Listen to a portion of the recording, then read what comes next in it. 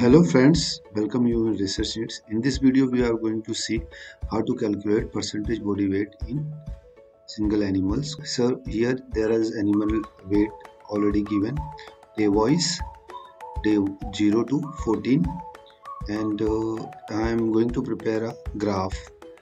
So for that I will start a GraphPad Prism that I will select group option. Group option we can easily calculate 2a ANOVA. So for that we have taken already three readings for each animals. So we will write the all three names of animals 1 and 3 we will write the dates now we will calculate the percentage uh, change for each day so we will select first uh, day 3 and then minus day 0 so we will minus everywhere day 0 to day 3 5 7 11 and 14 so right now divided by day 0 into 100 so this is how the formula we can prepare.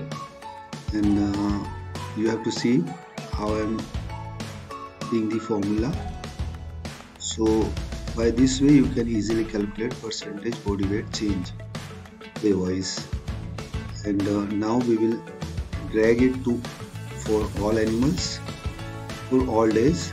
We will select the what is uh, we will fix it day 0 by locking.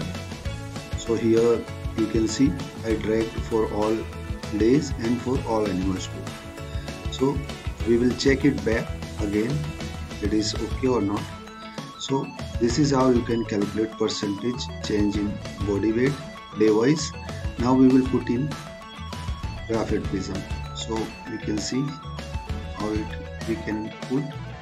And uh, now we will analyze it ANOVA because there is more than three readings. So you can easily calculate the 2 ANOVA and uh, now we will calculate. You have to select last option and say ok so it will be easily show calculated part now we will see the graph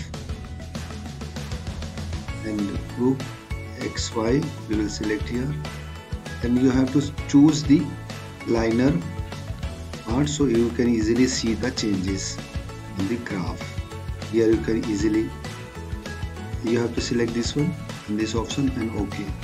Now we will put the color to all groups. A we will write here x and y names and we will put the colors.